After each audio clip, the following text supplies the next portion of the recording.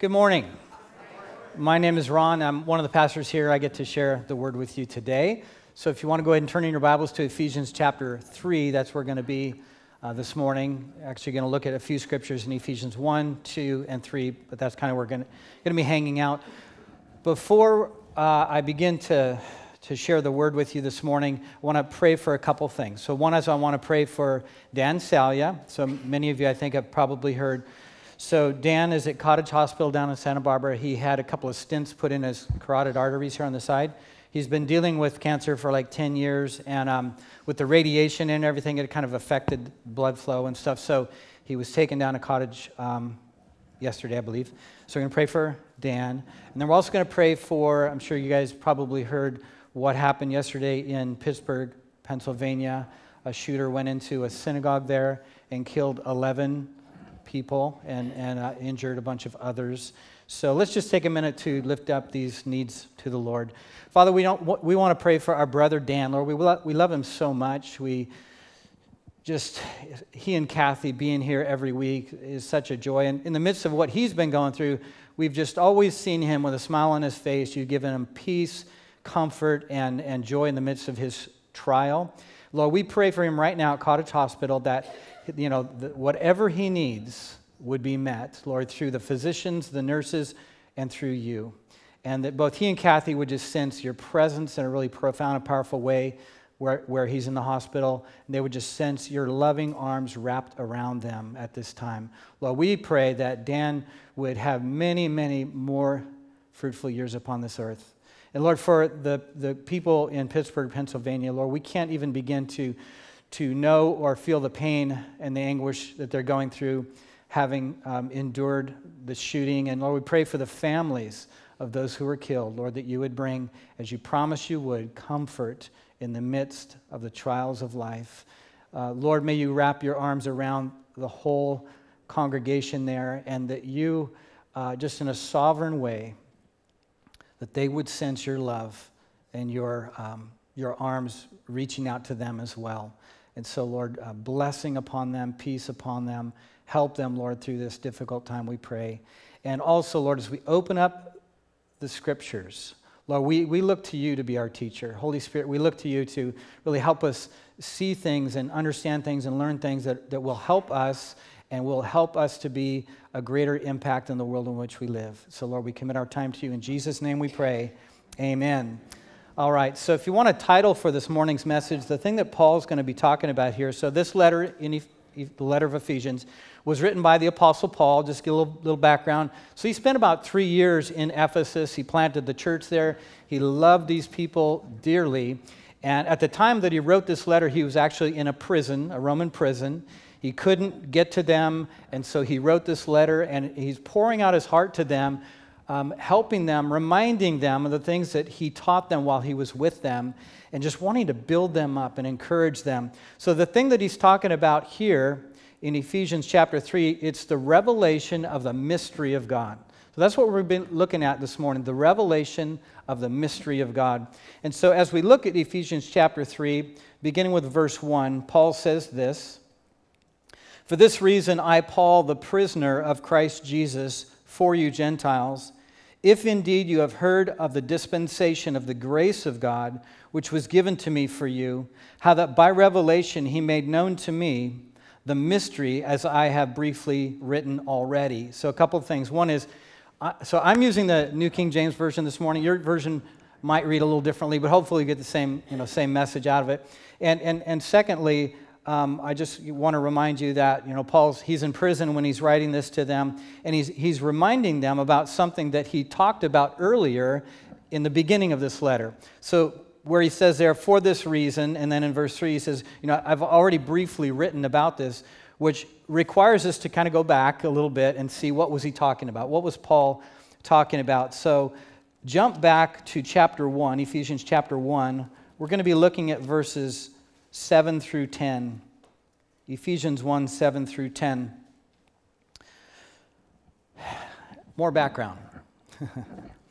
the believers in Ephesus were predominantly not Jewish people. All right, so what that means at the time of this writing is there was this huge gap, chasm, wall, barrier between the Jewish people and everybody else. So, to the Jewish mindset, the Gentile nations were. Um, they were ungodly, they were barbarians, they were uh, rejected by God. And so the Gentiles, they felt this. They felt this rejection. To the Jewish mind, they were the chosen ones. And yet, Paul's, he's going to be breaking down these barriers. That's part of the mystery that we're going to be looking at this morning. He's breaking down these barriers that existed at the time. So, verse 7 In him, it's talking about Christ Jesus. In him, we have redemption through his blood, the forgiveness of sins according to the riches of his grace, which he made to abound toward us in all wisdom and prudence, having made known to us the mystery of his will, according to his good pleasure, which he purposed in himself. And here's the mystery as it begins to unpack it that in the dispensation of the fullness of the times, he might gather together in one all things in Christ, both which are in heaven, which are on earth, in him, in Jesus Christ. So it's interesting, Paul uses here this interesting word, verse 10, in the dispensation of the fullness of time. So literally, um, it means that God is sovereignly arranging the affairs of human history to accomplish his eternal plan. I want to say that once more. He's talking about the dispensation of time. Literally means that God is sovereignly arranging the affairs of human history to accomplish his eternal plan. Sometimes we look out at what's going on in the world today and it's, it's like, this is utter chaos. It's craziness. The world is fractured more than maybe ever before. And it's easy to say, Lord, you know, what are you doing? And yet, what we see Paul's going to talk about here God has an eternal plan, and He is sovereign, and His plan will be accomplished. Now, when we talk about God's sovereign plan, we might think about last night, just last night.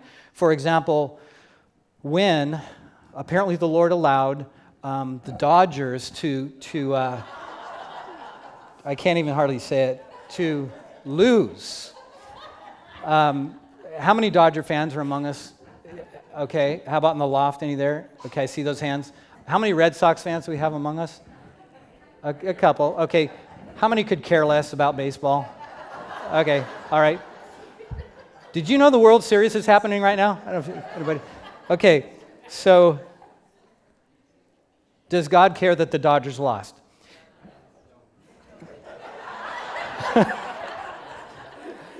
Remember, God is sovereignly arranging the affairs of human history to accomplish his eternal plan. So, may I suggest to you this morning that God is still in the process of revealing his eternal plan to us. There are more mysteries yet to be revealed, there are more prophecies yet to be fulfilled. And so, we're going to talk about that this morning. Look ahead to chapter 2, Ephesians chapter 2, beginning with verse 19. Ephesians 2:19. Now therefore, again he's talking to Gentiles here, you are no longer strangers. You're no longer foreigners, but you are fellow citizens with the saints and members of the household of God. That's huge. That's Paul's message. Through Christ, through the gospel, you're no longer strangers and foreigners, but you are fellow citizens with the saints and members of the household of God. Verse 20. Having been built on the foundation of the apostles and prophets, Jesus Christ himself being the chief cornerstone, in whom the whole building being fitted together grows into a holy temple in the Lord. Verse 22. In whom you also are being built together for a dwelling place of God in the Spirit. So apparently, the kingdom of God is open to Jew, Gentile, every nation, tribe, tongue, ethnic group, people group that has ever lived or will ever live.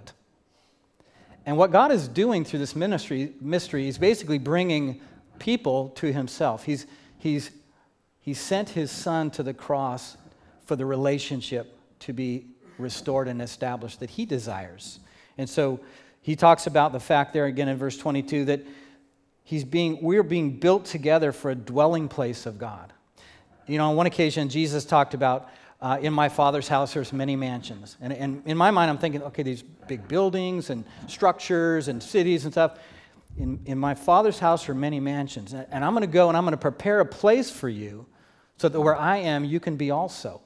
I don't think he's talking so much about buildings and structures. He's talking about God dwelling in us and we dwelling in him. This coming together. And we're going to look at that in just a few moments. Paul says in 1 Corinthians 3, he says, Do you not know that, that you, your body, that you are the temple of God and that the Spirit of God dwells in you? Now jump ahead. This is all background to chapter 3. Ephesians chapter 3, beginning with verse 1. I'm going to read 1 through 7. For this reason, I, Paul, the prisoner of Christ Jesus for you Gentiles, if indeed you have heard of the dispensation, he's talking about it again, the dispensation of the grace of God, which was given to me for you, how that by revelation he made known to me the mystery, as I've briefly written already, by which when you read, you may understand my knowledge in the mystery of Christ which in other ages was not made known to the sons of men, as it has now been revealed by the Spirit to his holy apostles and prophets. And here it is that the Gentiles should be fellow heirs of the same body and partakers of his promise in Christ through the gospel, of which I became a minister according to the gift of the grace of God given to me by the effective working of his power. So, this is good news to the non Jewish people that he's talking to who thought themselves as being rejected by God. And Paul again saying, the Gentiles will be fellow heirs of the same body, and they will be partakers of all the promises of God in Christ through the gospel. Paul is, you know, in, in thinking about, imagine Paul, he's saying, listen, I have a revelation that God gave me, some, some mysteries that have been hidden through the ages, and I'm, and I'm going to tell you what they are. I mean, so Paul's trying hard not to boast, even as he tells them that God has revealed some things to him that have been hidden throughout the ages from previous generations. What he's actually going to unpack for them is all the prophecies of old, the Old Testament, are now coming to fruition. They're finding their fulfillment in Jesus Christ. And I, I want to show you that. I want to declare to that to that to you. Um, you guys remember? Um, so one of the famous people in pop culture, his name is Yantego. what is his name? Inigo Montoya. You remember Inigo Montoya? Okay. If you don't remember, I'll, I'll clue you in a little bit. Inigo Montoya. So he's famous because he's having a sword fight with the, the, the, the, the guy in the black mask. Okay? You, you tracking with me so far? Okay, so Inigo Montoya, he's having a sword fight with the man in black and it's not Johnny Cash. and uh, so they're having this sword fight, and they're, they're both using their, their left hands as in their duel, right? Okay. And Yan, Montoya says this. He says, I know something you don't know. I know something you don't know. And, and what is it that the man in black didn't know? That's right. He says, I'm not left handed. And so, Paul, back to Paul for a minute. He's saying, I know something you don't know, and I want to tell you about it. I want to reveal it to you the mysteries of God. Verse 3, he says, How that by revelation, Princess Bride, by the way, in case you're wondering. How that by revelation he made known to me the mystery, as I've briefly already written to you. This revelation, the word there, it's, it's apocalypse. It is an unveiling of truth, it is a disclosure of things that were previously unknown. Paul's saying, I want to I want to re- reveal these things to you. And again, he says, These things I'm revealing to you, in verse 3, he says, they're, they're a mystery. Mystery meaning they are secret counsels of God that deal with the human race. Secret counsels of God that deal with the human race. Uh, you know, I think in a way God enjoys keeping things covered in mystery, if you will, clouded in mystery. There's treasures in the scripture if we're willing to open it up. In fact, uh, when the Lord was speaking to Moses uh, in Deuteronomy 29, he said this the secret things belong to the Lord, but the things that are revealed, Moses said, the things that are revealed belong to us and to our children forever. So Moses said, Not everything about God is revealed, but the things that are revealed, they're, they're promises that we can hold on to. God has revealed certain things to the human race, but we see that not everything is revealed at the same time. There are certain mysteries that God is still in the process of revealing, still in the process of unveiling. It's up to us to, to discover those things. And most of those things that are being revealed are, are wrapped up in the gospel. And we're going to talk about that this morning as well. All right, jump ahead. We read it a moment ago in verse 5, chapter 3, verse 5. He says, Which in other ages was not made known to the sons of men, as it has now been revealed by the Spirit to his holy apostles and prophets.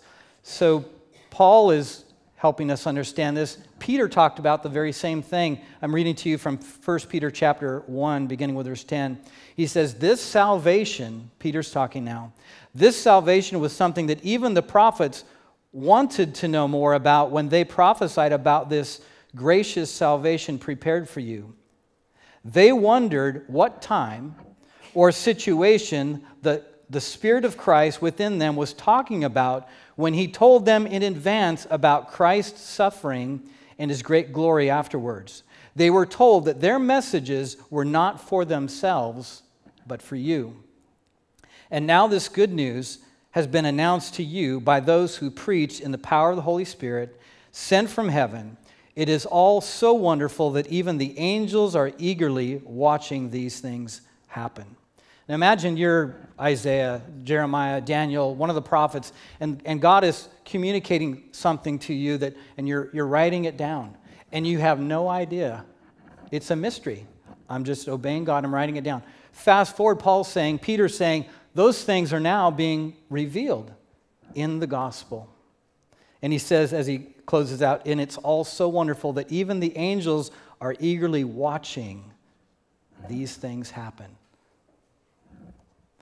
As Jesus was speaking to his disciples, had them gathered around himself in Luke chapter 10, this is what he said to them. He said, Blessed are the eyes which see the things that you see. For I tell you that many prophets and kings have desired to see what you see, and they have not seen it, and to hear what you hear, and they have not heard it. Jesus speaking, these things are now being revealed. You remember Jesus when he was on the road to Damascus, he had been put on the cross. He had already died for the sins of the world. He'd been put in a tomb. He'd been raised from the dead. And this is just prior to his ascension into heaven. He's walking with these two guys on the road to to Emmaus. I said Damascus, I meant Emmaus. You Bible scholars probably caught me on that one, right? He's on the road to Emmaus, and these two guys, have, they have no idea who he is, or, and they're just thinking about the things that have happened because they were there when Jesus was crucified. And it says that at beginning at Moses, Luke chapter 24, beginning at Moses and all the prophets, he expounded to them in the scriptures the things concerning himself. What is the Bible about? from cover to cover, Genesis to Revelation, it's all about Jesus Christ, the gospel of Jesus Christ. Back to verse 6 for a moment. Again, this mystery that Paul's unpacking for us that the Gentiles should be fellow heirs of the same body and partakers of his promise in Christ through the gospel. So here we see God's mysterious eternal plan more fully understood and, and revealed by the Apostle Paul. For a moment, I want to jump back to chapter 2 again. We read it a moment ago, Ephesians 2, beginning with verse 18. For through him, through Jesus Christ, we both, the both he's talking about is Jew and non Jew, we both have access by one Spirit, by the Holy Spirit, to the Father. We see, even see the Father, Son, and Holy Spirit in that one verse through Jesus Christ, we both have access by the Holy Spirit to the Father. Verse 19. And now, therefore, you are no longer strangers and foreigners, but fellow citizens with the saints and members of the household of God. Having access access to God. Again, we're talking about a relationship here. We're not talking about religion. We're not talking about man's way of achieving righteousness. We're talking about God extending his grace throughout the ages, inviting men and women of all races, tribes, tongues, ethnic groups, backgrounds to come to him, to give us access. Paul talks about that a little more in, in Galatians chapter 3. He said this He says, In Christ, there is neither Jew nor Greek, there is neither slave nor free, there is neither male nor female, but you are all one. You are all one in Christ. So he breaks down not only those ethnic national barriers, but he breaks down the other barriers that sometimes would divide us, whether, you know, slave or free. So he's taking down economic, you know, divisions as well. Male or female, gender doesn't matter to God. You come to him and he wants to do what? You are all one in Jesus Christ. So it, it, it um, we're all equal. We're all equal at the foot of the cross. And again, Paul talking about the same thing in Galatians chapter 3, verse 14. He's talking about the blessing of Abraham. Remember, the promise was given to Abraham that through Abraham, through his seed, talking about Jesus Christ, through his seed, all the nations of the earth would be blessed. He says that the blessing of Abraham might come upon the Gentiles in Christ Jesus, that we might receive the promise of the Spirit through faith. Now, just so you know, in, in our generation, this might not seem so radical in Paul's generation, this was so radical, that's what put him in prison. Every time he brought up the fact that Jesus Christ died for both Jew and Gentile, Jew and non Jew, Jew, um, he, he, it led to a fight. Um, so, by the way, I gotta, what do I do with my coin? Do you have my coin, DJ? I, I need a coin. I need a, any, any coin will do. I thought I had my coin with me. Any, any coin. Penny will do. I can't see that, but I think. I got that. Reminds me of that play in the outfield the other night. I got it. Oh, you go. okay. So I got to give credit where credit is due. I did not know this until the other day when, when Logan Wise shared this truth with me. So on every coin, whether it's a penny, a nickel, a dime, or a quarter, that the U.S. Mint prints, there's actually three things on each coin. Um, there's one word and two phrases. Again, it's on every U.S. coin. And the, uh, okay, I'll open up to you guys. What do you think the one word is that's on every coin? Uh, no. The word is liberty. All right. The two phrases are number one, in God we trust, and the other phrase is e pluribus unum, which means out of many, one. Out of many nations, we're a melting pot.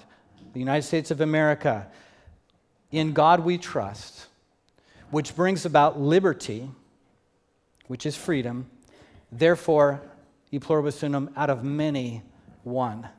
Now, to be sure, liberty is not the same as equality. He takes us, and as a nation, we're different. We all have freedom to do as we choose to do. Now, in Christ, we have liberty. Uh, Paul talks about stand fast in the liberty wherein Christ has made you free. So we are free. We're not the same, we're not equal in that sense, but we are all free. We have liberty to obey the Lord and to pursue the things that He has called us to. Again, that term on our coins, e pluribus unum, out of many one. That's exactly what Paul is talking about here. Bringing together those who, for various reasons, would not normally come together, but in Christ, you are all one. I would encourage us for sure to be praying for the United States of America because I think this is a time where we are probably more divided than, than maybe every, any, any time in our history. That God would bring about what He desires, that we would trust in God, which leads to true liberty so that out of many we can become one in Christ. As I mentioned earlier, Paul, he's trying hard not to boast about these things that are being revealed to him things that have been hidden throughout previous ages and generations. So, which leads to verse 8. So, back in Ephesians chapter 3, verse 8, he wants to be clear. He says, To me, who am less than the least of all the saints, this grace was given that I should preach among the Gentiles the unsearchable riches of Christ, and to make all see what is the fellowship of the mystery, which from the beginning of the ages has been hidden in God who created all things through Jesus Christ. So now Paul's again he's helping to helping us to understand further this mystery. He says I'm talking about the unsearchable riches that are found in Jesus Christ. Charles Spurgeon, you guys may recognize that name, famous preacher from a couple hundred years ago. Here's what he said about that. He said, I am bold to tell you that my master's riches of grace are so unsearchable that he delights to forgive and to forget enormous sin. The bigger the sin, the more glory to his grace. If you are overhead and ears in debt, he is rich enough to discharge your liabilities. If you are at the very gates of hell, he is able to pluck you from the jaws of destruction. He's talking about the unsearchable riches that are found in Jesus Christ. Another translation of that same verse, verse 9, the NIV, it says, To make plain to everyone the administration of this mystery. So there's the fellowship of the mystery, there's the administration of the mystery. What's he talking about? How did Paul administer the gospel of Jesus Christ? Well, he tells us right here in verse 8, he says, That I should preach among the Gentiles the unsearchable riches of Christ. That was Paul's calling, Paul's ministry, Paul's message to go to the Gentile nations and to preach what? Preach the gospel of Jesus Christ so that they can discover the unsearchable riches that are found in him. So, how did Paul administer this mystery? Through preaching. How do we administer this mystery? Well, again, says Paul says that I would preach the gospel. We're, we are called to preach the gospel, to administer it to others.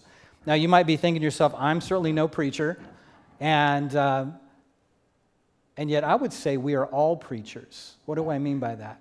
That our lives are giving a message.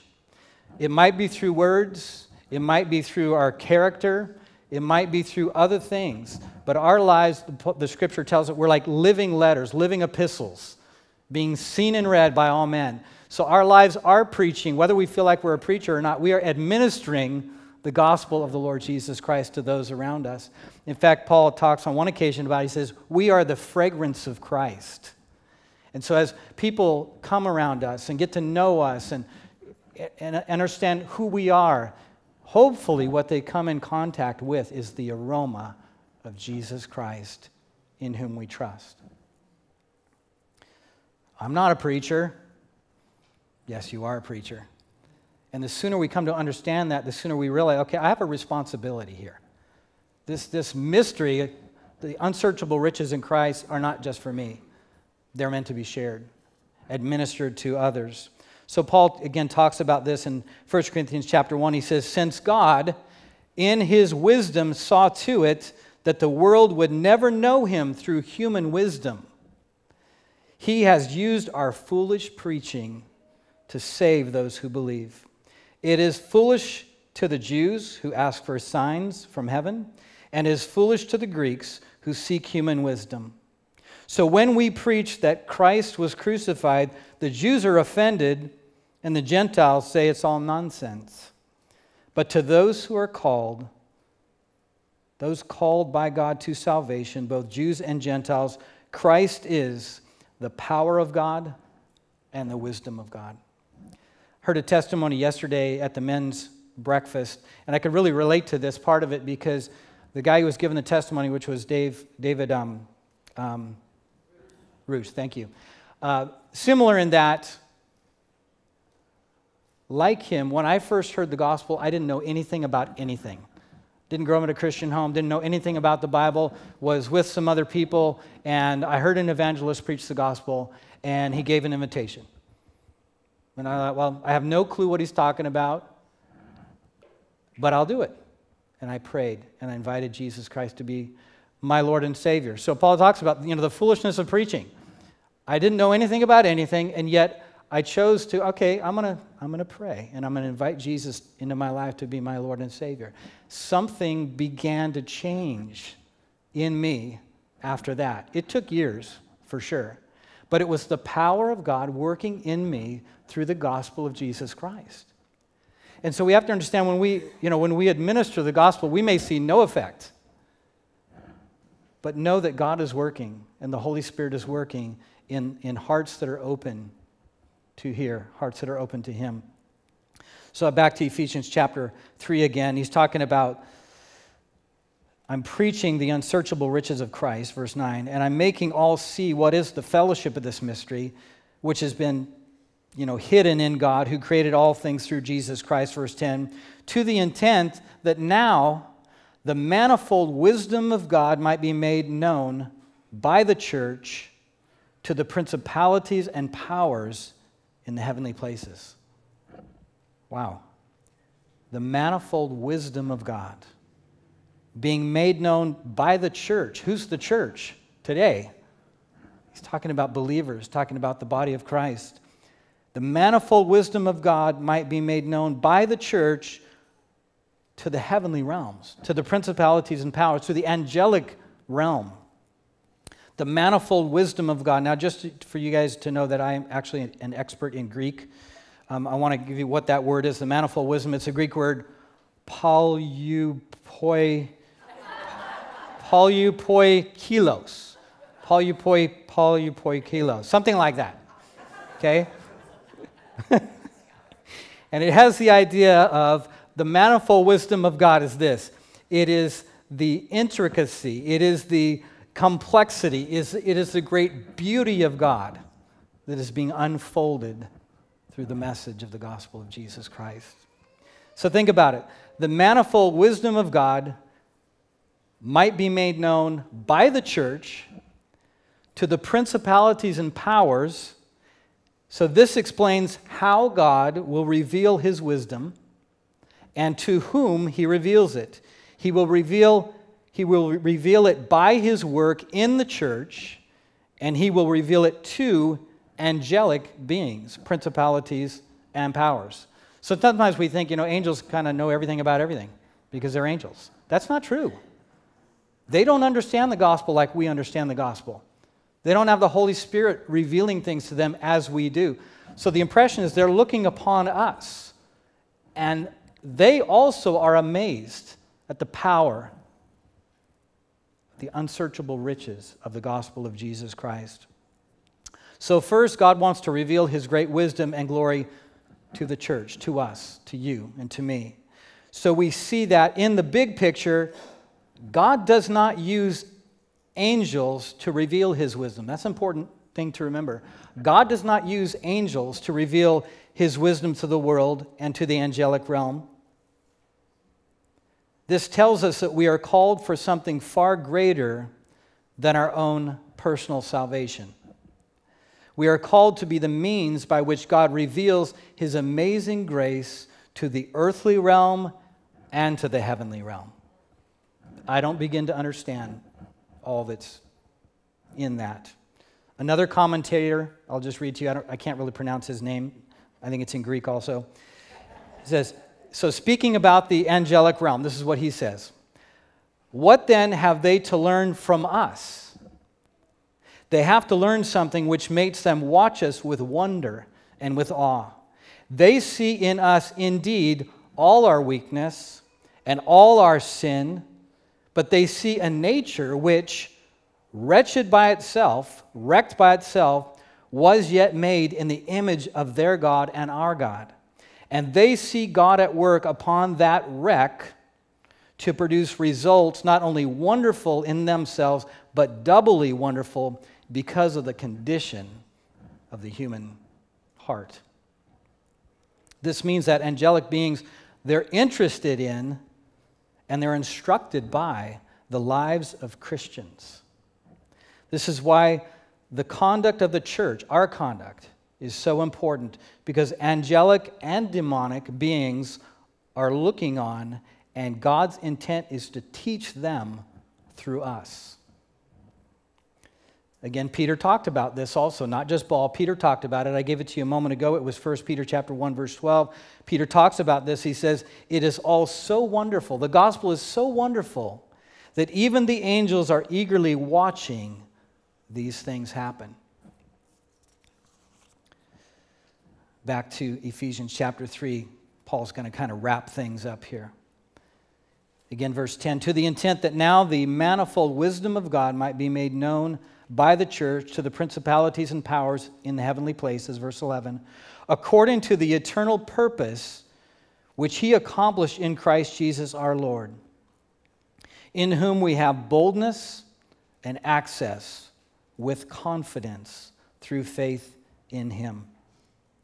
Paul reminds us of God's eternal purpose, and that purpose is this to give us bold and confident access to our Heavenly Father, to give us bold and confident access to the Father. The writer of Hebrews talks a little bit about this. Hebrews chapter 4, he says this Since we have a great high priest, and who is our great high priest, by the way? Jesus Christ the Lord. Since we have a great high priest who has entered heaven, Jesus, the Son of God, let us hold firmly to what we believe. This high priest of ours understands our weaknesses, for he faced all the same testings we do, yet he did not sin. So let us come boldly to the throne of our gracious God. There we will receive his mercy and we will find grace to help us when we need it most. Again, Paul talks about it, the writer of Hebrews talks about it. Let us come boldly to the throne of grace. Why? Because we have confident access to the Father to the creator of the heavens and the earth through the Son, through Jesus Christ our Lord. Paul wants to encourage us to draw near, draw near to the Lord. Have you ever felt like God was against you? I know, I, I, some, I don't know that I've ever felt that, but I've talked to people that I felt, you know, God, God hates me. God's against me. And you know, that's just so, that's just simply not true. In fact, Paul talks about this in Romans 8:31. He says God is for us. If God is for us, is God for you today? If God is for us, who can be against us? He who did not spare his own son, but delivered him up for us all, how shall he not through him also freely give us all things? God is for you today. You need to be reminded of that. Life's hard, isn't it? I was talking to somebody just the other day, and they were just going through this difficult uh, health thing, and, and uh, they're like, oh, I, I just don't, I don't understand. I feel like God is, you know, against me and things. I said, listen, you need to know a couple things. First of all, God never promised that there wouldn't be trials in life, but He did promise that He would be with you in the midst of your trials. Life is hard. That's why, that's why Jesus came to set us free to give us liberty. All right, so I want to kind of bring this to a conclusion now. So here Paul is talking about the unsearchable riches of Christ. Paul is talking about the power of the gospel of the Lord Jesus Christ. So that's the mystery. The mystery is there is so much.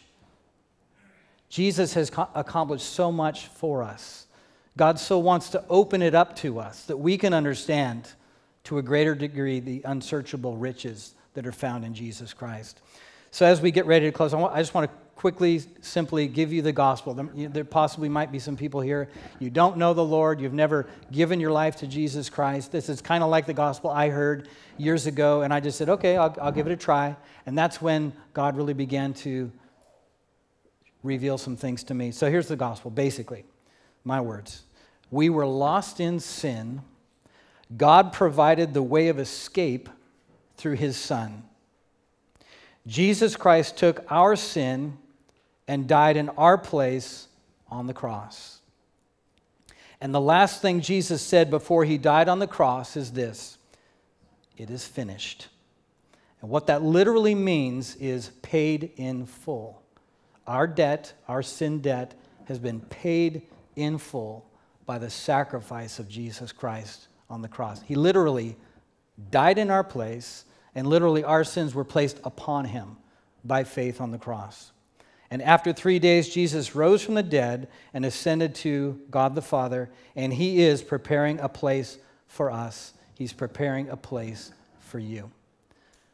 So, my encouragement, we're going to have communion in just a moment. Before we have communion, just make sure you've given your life to Jesus Christ. When I prayed, I prayed something like this. You can pray along with me if you like. Lord, there's so much I do not know, but Lord, I'm willing to let you in. I feel like you're knocking on the door of my heart. And so, Lord, I'm willing to open the door. So, Jesus, if you are the Lord, I invite you to come into my life, to be my Lord, to be my Savior. I confess that I have sinned and I, I need forgiveness. And Holy Spirit, I welcome you to come in and fill me and teach me. In Jesus' name I pray. Amen.